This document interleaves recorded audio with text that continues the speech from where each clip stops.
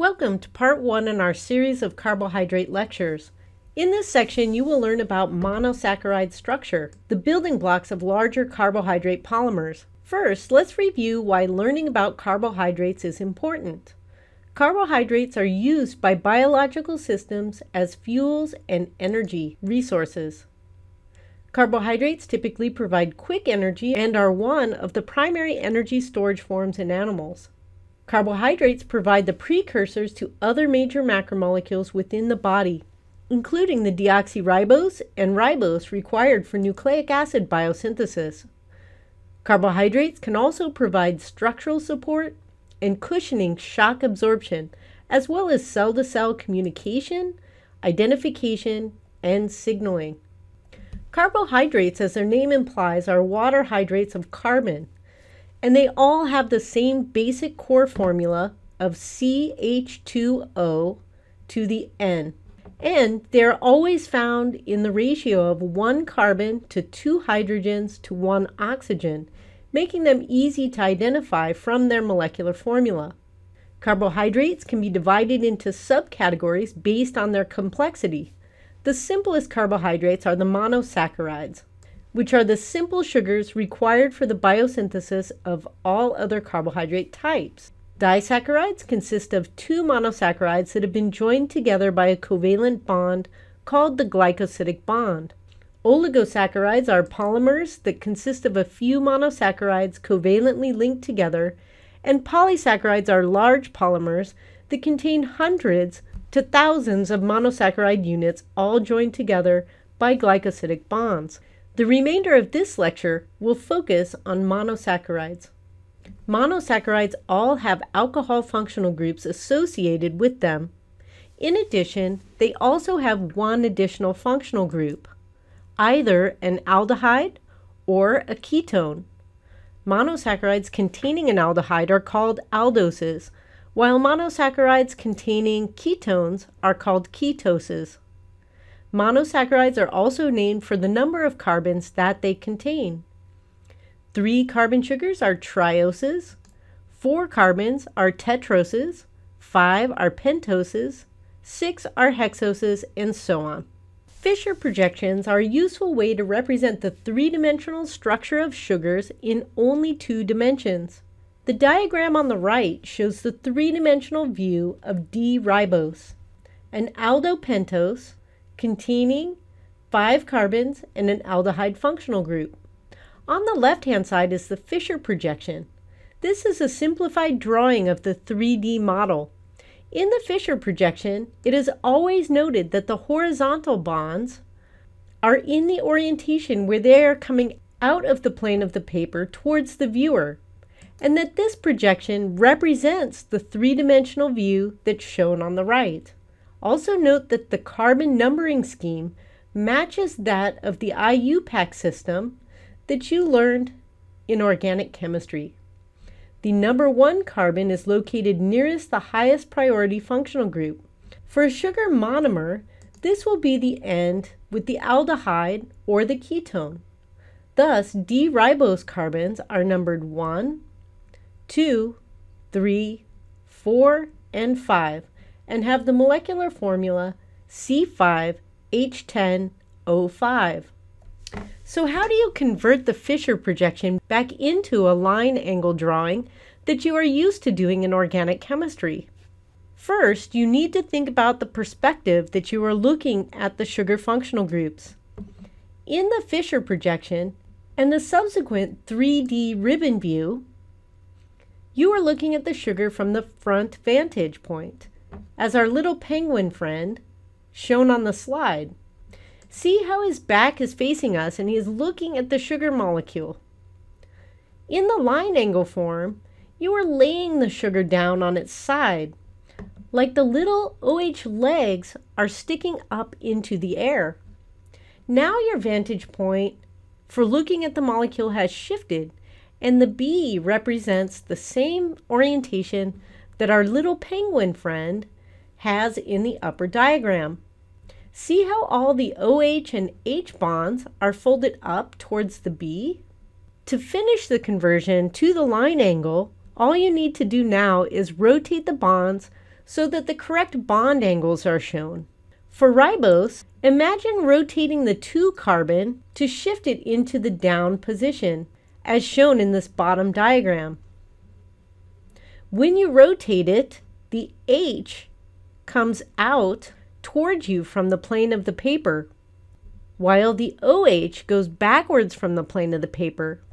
The same thing occurs when you shift the 4 carbon into the down position. The H comes out towards you from the plane of the paper, and the OH goes back away from you. This is the correct stereochemistry for the D-ribose written in the line angle form. You could also imagine flipping this whole thing over in space as shown in the top diagram. Both of these line angle drawings represent D-ribose. Drawing the line angle presentations of sugars from the Fischer projections takes a little practice, but stereochemistry is very important in sugar chemistry. Hopefully now you can recognize aldoses from ketoses and name them according to how many carbons they contain. The aldopentose on the left with an aldehyde functional group and five carbons, and the ketohexose on the right with the ketone functional group and six carbons. Recall that aldehydes and ketones have different oxidative potential. Aldehydes can be further oxidized to the carboxylic acid, whereas ketones cannot. The ketone is already fully oxidized. These reactions are the same for the aldehydes and ketones found in sugar monomers. Sugars with aldehydes can act as reducing sugars. That means as they are oxidized, they reduce another molecule or act as a reducing agent. Recall that oxidation reactions lose electrons, while reduction reactions gain electrons. Because electrons do not just disappear, these reactions are coupled together. You cannot have oxidation without reduction, or vice versa. The conclusion, aldoses can act as reducing agents, whereas ketoses cannot. This feature has been useful in the detection of aldoses in the urine. Normally, urine does not contain detectable quantities of glucose or other sugar monomers. However, in the disease states such as diabetes, glucose is excreted by the kidneys into the urine.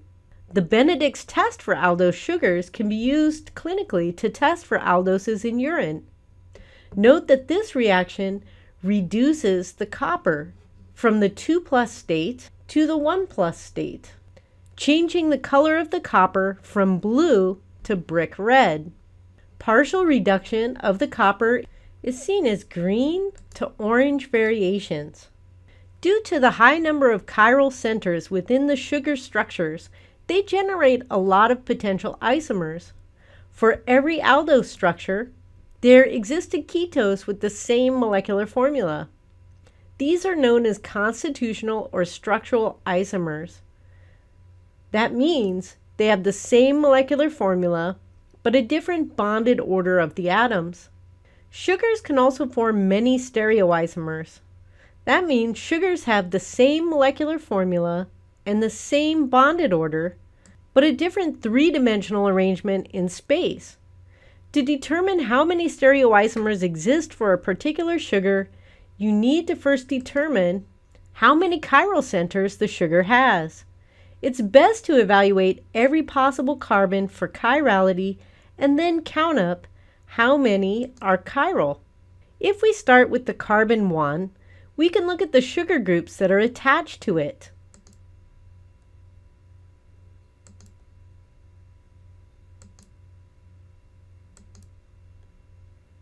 There are only three different groups.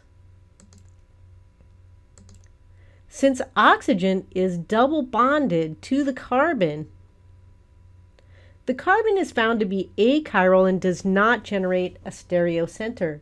Moving down, let's examine carbon 2. This time, we see that carbon 2 has four different groups bonded to it.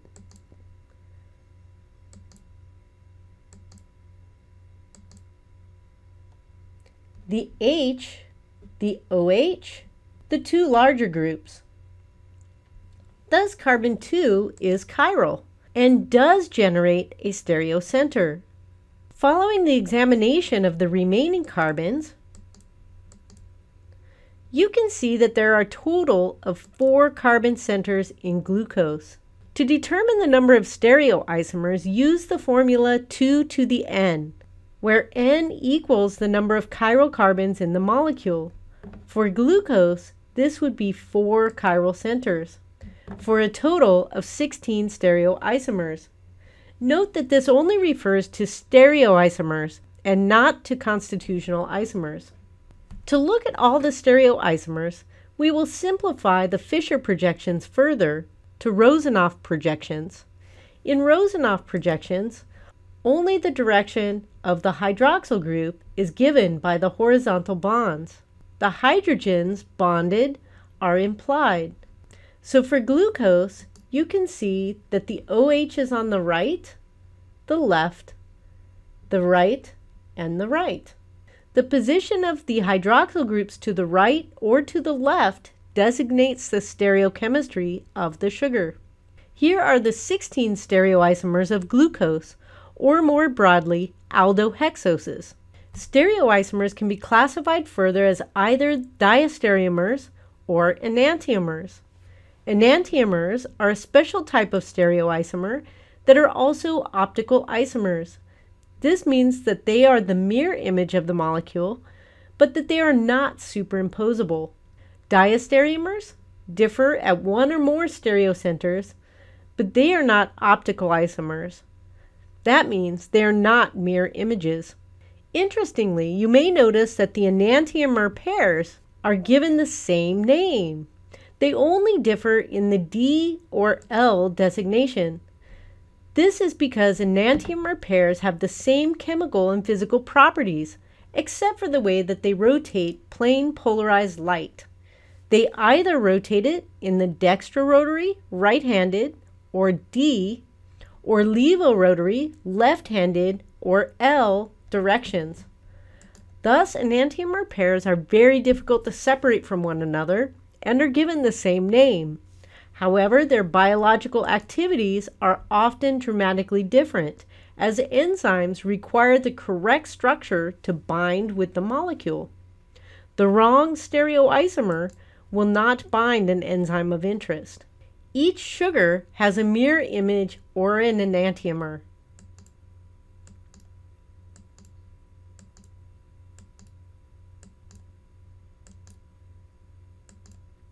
In summary, enantiomer pairs have the same molecular formula, are mirror images of one another, and have the same chemical or physical properties, except for the rotation of plane polarized light and their ability to interact with biological molecules. Thus, they are given the same name with the D or L designation. How are the D and L conformations determined?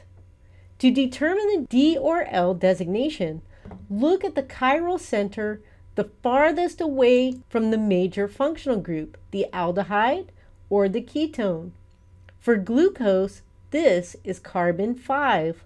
1, 2, 3, 4, 5.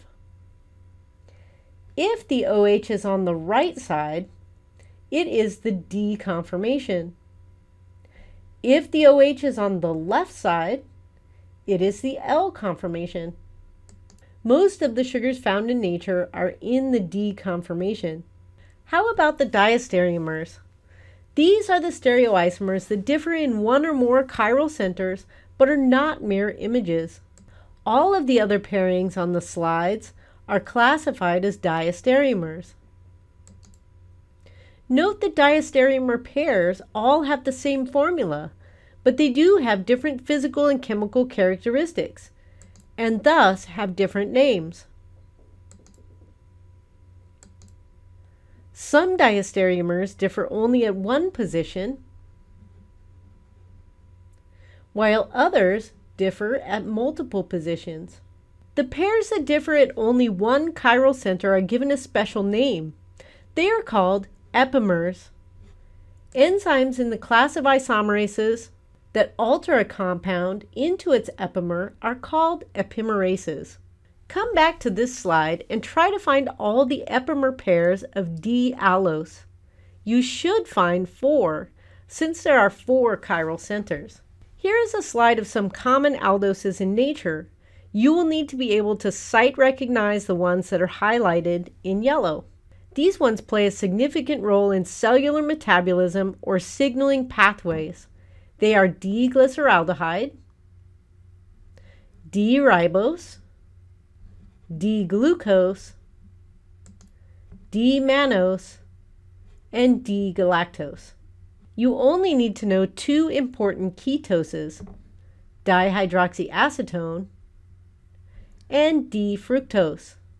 In this section, you learned about important characteristics of monosaccharides, these include the concepts of aldoses versus ketoses, class naming, finding the number of isomers a sugar should have, and determining the type of isomers present. You also learned how to alter a sugar's appearance from the Fischer projection to the line angle drawing, although I won't ask you to perform this skill on a term exam.